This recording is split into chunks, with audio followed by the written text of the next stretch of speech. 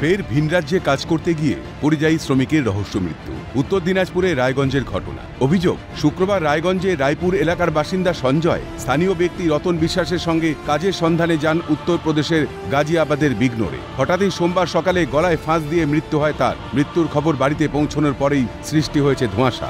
জানা যায়, সঞ্জয় যার সঙ্গে গিয়েছিলেন, তিনি তৃণমূল দলের সঙ্গে যুক্ত। অন্যদিকে সঞ্জয়ের মা বিজেপি করেন, তাই রাজনৈতিক কারণে খুনের অভিযোগ তুলছে পরিবার। আজকে আমার সাথে ঠিক পাঁচটার সময় কথা হয়েছে। কথা? আমাকে কইলো যে মা তাড়াতাড়ি ব্যাংকুন্ডি রাজুদা আমাকে ফোন করে টর্চিং করতেছে। এই পাশের মেম্বারের স্বামী এই যে নতুন দ্বারা ছিল তৃণমূল থেকে তৃণমূল থেকে আমি বিজেপি আপনাদের কি সন্দেহ হচ্ছে? আমার সন্দেহ আমার ছেলেকে মার্ডার করছি পার্টির থেকে পার্টির থেকে এটা চক্রান্ত করছি। পার্টির থেকে কোন দল কোন দল করেছে? টিএমসির থেকে চক্রান্ত করছি এটা। সন্দেহ প্রাথমিক ওকে মার্ডার করে দিয়েছে স্যার ওকে মার্ডার করে দিয়েছে। তাতে বরফও দিতে দেয়নি ওখান থেকে। আমার এক মাসির ছেলে গেছে বলছে যে লাস্টেতে বরফ দেন বলে কোনো বরফ টরফ দিতে হবে না গাড়িতে এসি চালাইছিল এসিটাও বন্ধ করে দিয়েছে গাড়ি। কীভাবে মৃত্যু হলো সঞ্জয়ের। সঠিক তদন্ত করে দেখা হবে আশ্বাস স্থানীয় প্রাক্তন পঞ্চায়েত সদস্যের।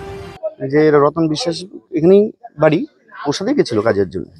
এর আগেও কি গেছিল না এই ফার্স্টও গেছে। তো এখান থেকে ওরা আমাকে ছবি পাঠায়।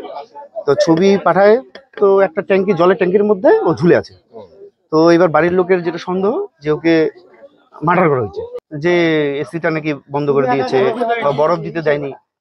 এই অসহযোগিতাগুলো কেন হচ্ছে বলে আপনার এইটুক তো বুঝতে পারছি না আমি এই জন্যই বলছি একটু তদন্ত দরকার আছে। সত্যিই কি রাজনৈতিক কারণে খুন? তবে কি এটাও ভোট পরবর্তী প্রতিহিংসার ফল? বিজেপি কর্মীদের হত্যা করার জন্য নতুন নতুন পন্থা অবলম্বন করছে তৃণমূল কটাক্ষ বিজেপি। হত্যা। তৃণমূলীরা বিজেপি কর্মীদের বিজেপি সমর্থকদের হত্যা করার নতুন নতুন আর ফন্দি আছে। আর সেই নতুন ফন্দির বলি এই যে এই হত্যা। রাজনৈতিক হোক বা অন্য কোনো কারণ, ফের চলে গেল একটা তরতাজা প্রাণ। আর কটা প্রাণ গেলে তবে হুঁশ ফিরবে, এর শেষ কি আশা করা যায়? উত্তর দিনাজপুর থেকে নন্দদুলাল সরকারের রিপোর্ট, ক্যালকাটা নিউজ।